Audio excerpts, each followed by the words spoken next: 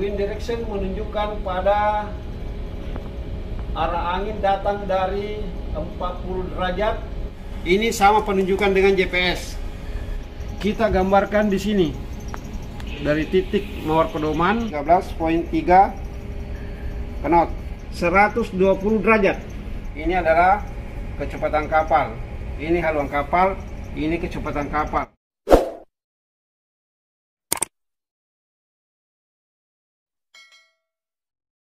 Assalamualaikum warahmatullahi wabarakatuh. Selamat siang kawan-kawan. Saat ini kami berlayar dari uh, Bahodopi, Morowali menuju ke Munati. Saat ini posisi lagi berada di uh, Banda. Nah, pada kesempatan kali ini saya ingin menjelaskan atau berbagi mengenai tentang cara mendapatkan arah angin dan kecepatan angin yang sesungguhnya pada saat kapal berlayar. Karena beda itu antara kapal diam dengan kapal berlayar. Kalau kecepatan kalau kapal berlayar berarti ada pengaruh daripada kecepatan kapal. Dan kalau kapal diam, berapa penunjukan uh, wind direction, wind speed, maka itu adalah yang sesungguhnya. Tapi kalau kapal berlayar harus diperhitungkan dengan eh, kecepatan kapal. Nah, sekarang ini sekarang ini wind direction menunjukkan pada arah angin datang dari 40 derajat 40 derajat dari halu, haluan kapal haluan kapal arah angin kosong. 140 derajat dari kiri kapal. Sementara sementara uh, kecepatan angin sekarang ini kecepatan angin saat ini adalah menunjukkan kurang lebih 20 knot. 20 knot. 20 knot.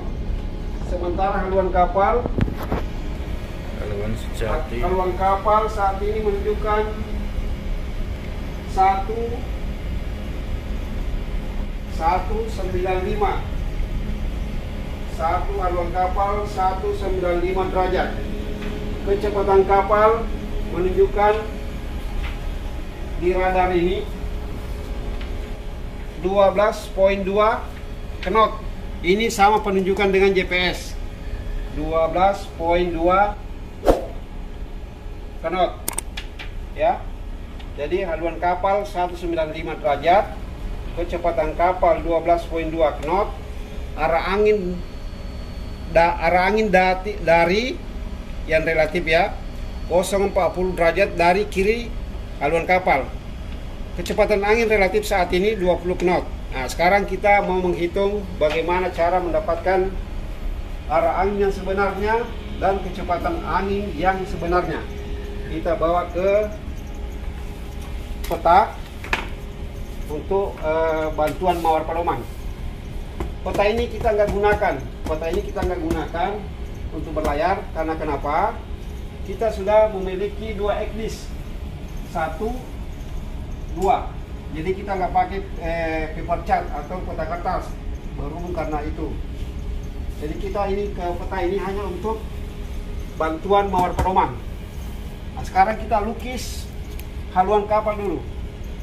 Haluan kapal satu sembilan lima. Udah belok ya? Iya. Satu sembilan lima.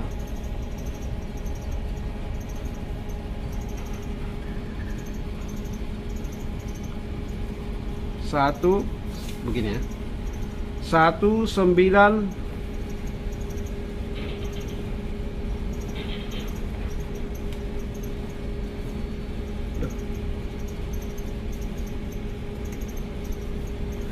satu sembilan lima.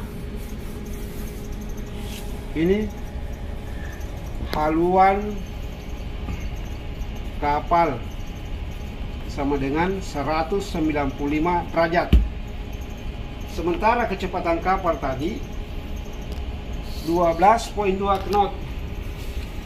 12 10 11 12 12.2 knot kurang lebih segini nih. Oke 12.2 kita gambarkan di sini. Dari titik mawar pedoman center mawar pedoman ke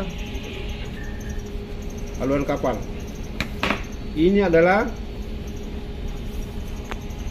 kecepatan kapal. 12.2 knot nah, sekarang kita gambarkan arah angin datang dari mana? Dari dari 40 derajat berarti karena dia kiri kapal. Dan dia datang dari kiri kapal berarti harus dikurang. Berarti 195 195 derajat haluan kapal dikurangi 40 sama dengan 155 berarti arah angin relatif dari 155 155 mana 155 ini 155 kita gambarkan di mawar pedoman. 155 saat uh, arah angin. Relatif ya. Bukan relatif lagi. Arah angin. Datang dari 155 derajat ya. 155 derajat. Terus kecepatan angin tadi 20 knot ya. 20 knot. 10 20 knot. Oke 20 knot ya. Kita jangkakan dari center morfodoman ke depan.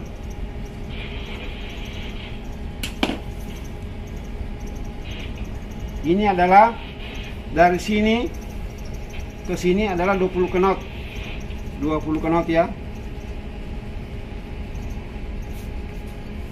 Uh, kecepatan angin relatif ya. Sama dengan 20 knot Nah, selanjutnya titik kecepatan kapal dengan titik kecepatan angin relatif dihubungkan jadi satu.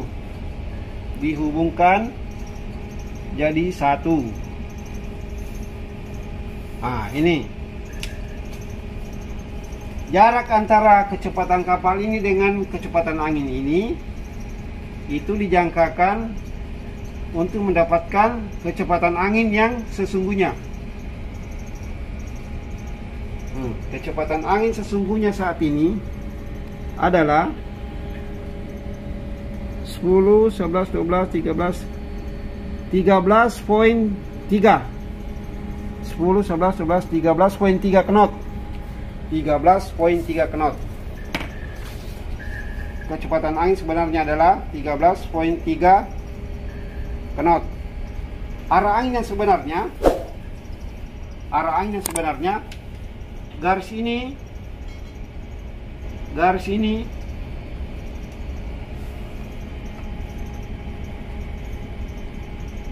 kita geser ke center mawar pedoman ini ya center mawar pedoman ya maka berapa ya?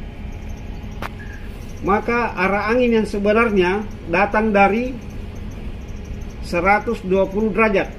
Arah angin datang dari 120 derajat ya. 120 derajat. Ya. 120 derajat. Jadi sekarang kita sudah mendapatkan arah angin yang sebenarnya datang dari mana? 120 derajat kecepatan angin yang sebenarnya dengan 13.3 knot. Jadi saya ulangi kembali. Pertama-tama kita garis lukis haluan kapal haluan kapal 195 195 haluan kapal. Sementara kecepatan kapal dijangkakan dari sini ke sini sejauh 12.2 12.2 10 11 12 12.2 ini adalah kecepatan kapal. Ini haluan kapal ini kecepatan kapal. 12.2 ya. Kita bikin titiknya terus terus arah angin datang dari 155 155 ini 155 155 ya. 155 sementara kecepatan angin yang relatif adalah 20 knot 20 knot. Dari sini ke sini sebenarnya 20 knot 10 20 ya 20 ini 20 knot ya. Kecepatan angin. Ah ini dibikin titiknya. Perpotongan antara ini kecepatan kapal dengan kecepatan angin dijadikan satu garis maka itu adalah kecepatan angin yang sesungguhnya. Ya kita dapatkan tadi berapa? 13.3 knot 13.3 knot. Dan arah angin garis ini kita geser ke tengah untuk mendapatkan arah angin sesungguhnya. Dan kita dapatkan 120 derajat. Demikian saya jelaskan. Semoga bermanfaat. Sekian terima kasih. Assalamualaikum warahmatullahi wabarakatuh. Bye bye